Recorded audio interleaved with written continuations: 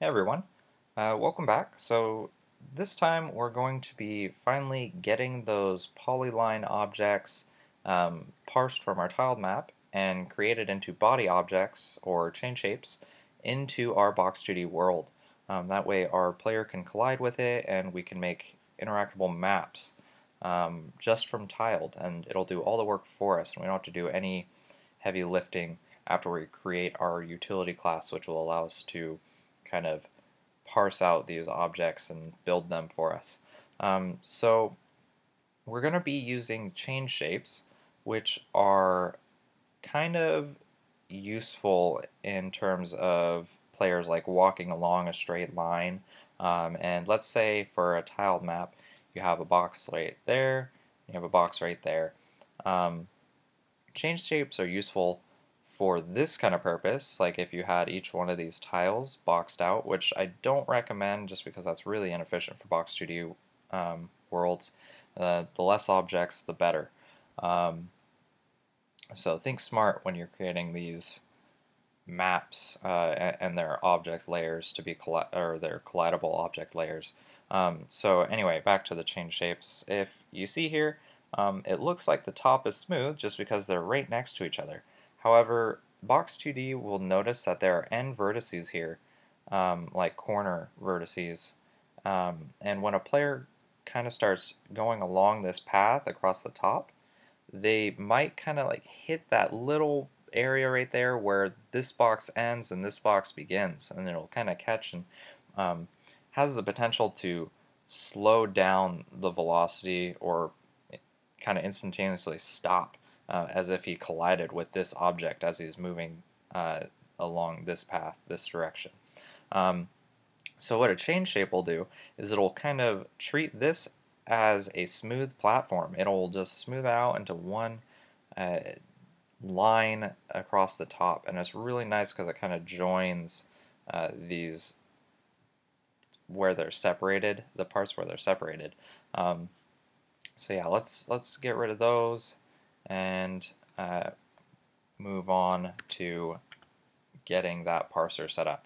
So we're not going to really be doing any work in our application class, um, mostly because we want to start breaking this up uh, to keep the code clean. And we'll just make a utility class, and we'll call it, uh, how about tiled object util. Um, and there's just going to be a few static methods in here. Um, one, just one that will actually be able to access outside of the class and the others will just kind of parse each different type of object. As you know, there there are several different type. There are um, rectangles, circles, uh, triangles, and then of course the polyline.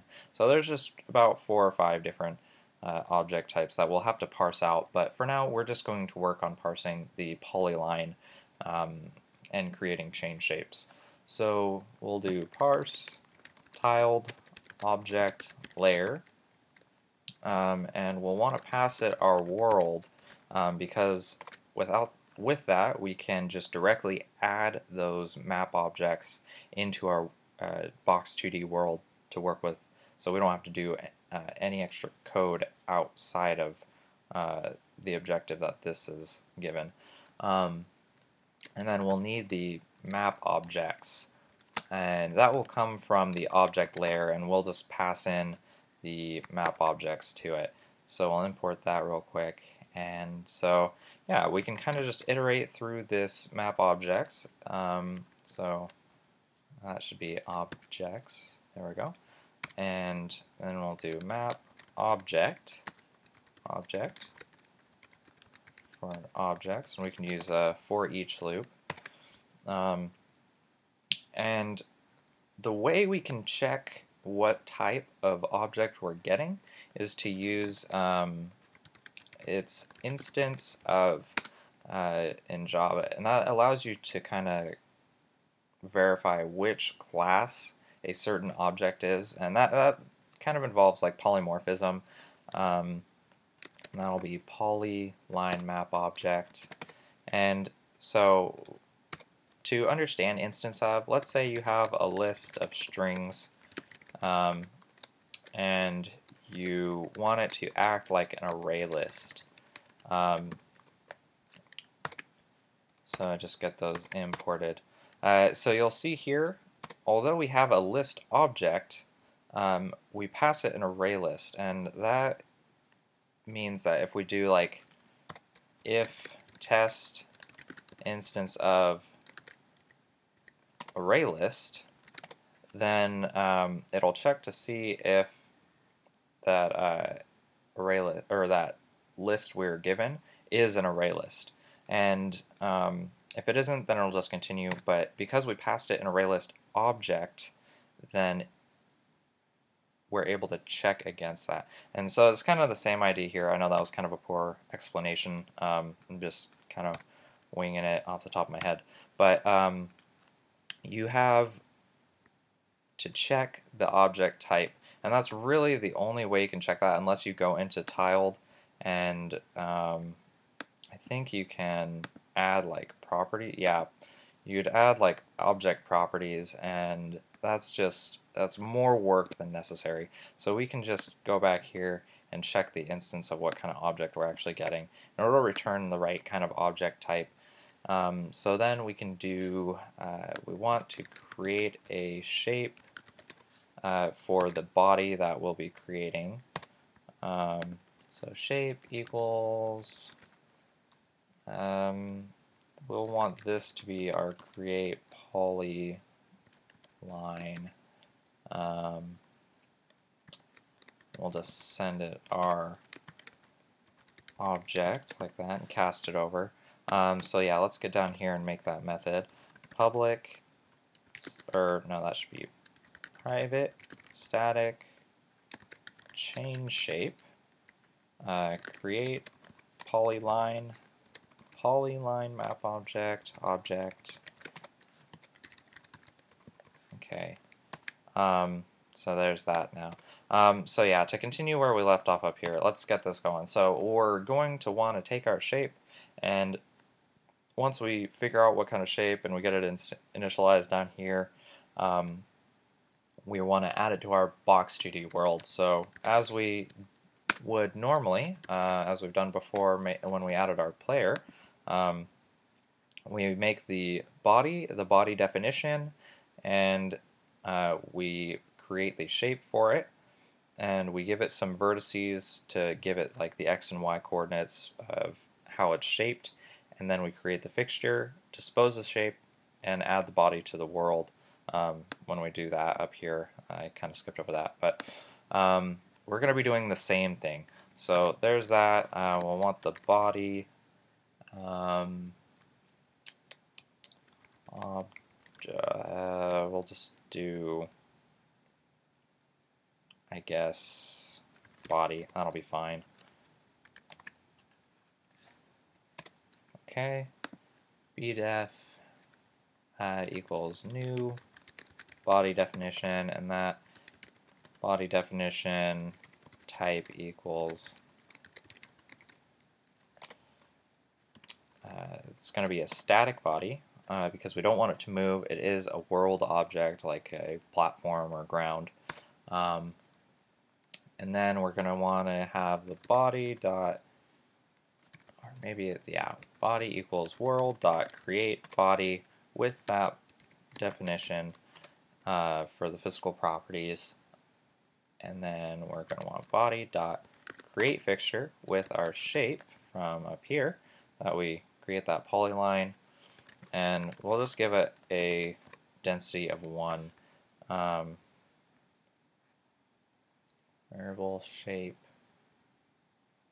equals uh, okay there we go. Um, so yeah if we end up getting one that isn't a polyline map object because we aren't really ready to handle anything other than a polyline uh, we'll just want to skip over it. Um, and then after that we can just dispose the shape. Perfect. Okay so this is all taken care of. Um, let's go down here and create our polyline object that we're going to be using for our box 2D world um, so there's a few things with this method we're going to have to take into account. So uh, first we want to get all the coordinates of the polyline that we'll be dealing with. So float, uh, that's the vertices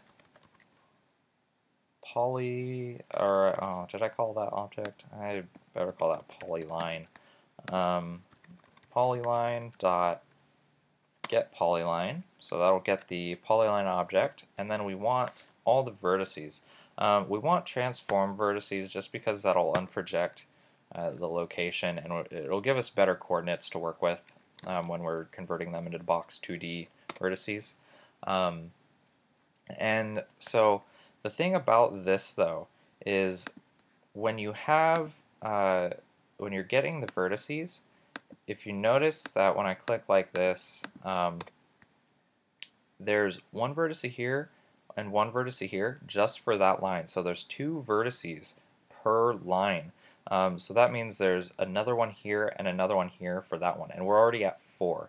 What we want to do is create the chain shape so it's just one, two, three, four, five instead of one, two, three, four, five, six, seven, eight. So um, we're going to handle that by creating a new set of vertices um, with x and y's vector 2 um, array and we'll just call that uh,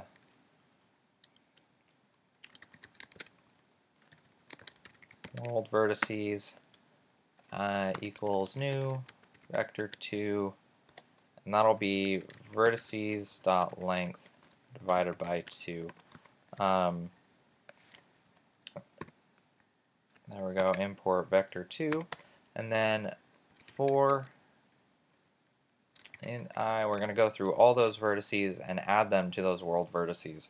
And uh, so we got i is less than world vertices dot length i plus plus, and then we have world vertices at i equals uh, new vector 2, and we'll want the x to be vertices i times 2.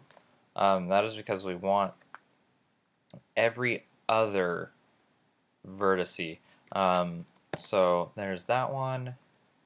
Uh, and then we want to divide that because if you remember, we are uh, putting it into the box 2D world, so we, we divide it. Um, yeah. So there's that one. And then we have vertices i times 2 plus 1. And that'll kind of give you that second coordinate here. So we get this one um, and the y of it. Okay, so divide by constants.ppm.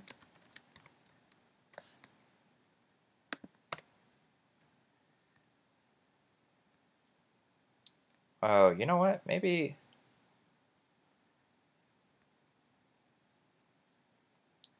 Yeah, maybe that just returns the list of vertices as x, y, x, y, x, y, x, y. Um, yeah, I could be mistaken on that. I, have always thought that was uh, just... Yeah, never mind. Okay, so we have the world vertices. Now we need a chain shape. So chain shape cs equals new chain shape uh, cs dot create chain, and we'll want to use the world vertices. Um, and then after that, we just return cs, and that'll be our chain shape. Uh, what's going on here? Okay. Um, all right, and so with all that taken care of, we now have something that will parse chain shape objects. And to add them to our world, all we have to do is use our tiled object utility dot parse tile object layer. We want to send out our world, and we want to send our object layer. Uh, get, you can use a string, and that is collision layer.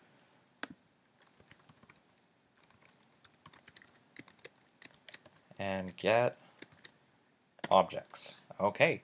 Um, and that's really all we have to do in our application class. And once that's all taken care of, uh, we can move on. Um, so let's test it out real quick and see if our lines are actually holding up in there. Um, it should give the appearance that we're hitting the these boundaries. Um, so yeah, let's wait for this to build.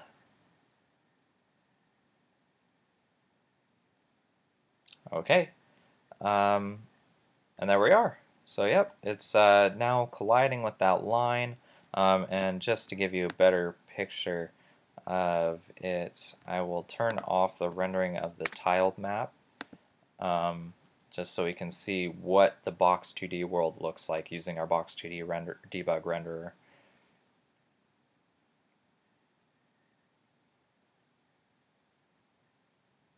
Okay, and there we go. Now we can see these lines and um, they're added to our world and we can really add anything we want.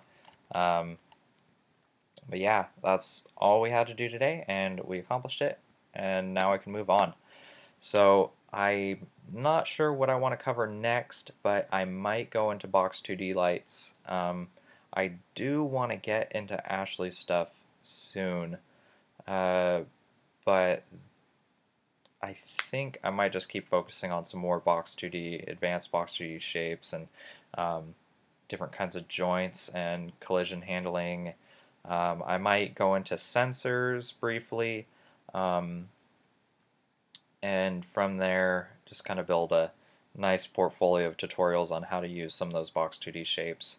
Um, but for the most part, now you have uh, you can create maps with collidables. You don't have to get into any kind of fancy logic or anything. You can just create objects, throw them in there, and they'll do the work for you. Um, so with that, hope you guys enjoyed the tutorial so far, and I'll see you next time.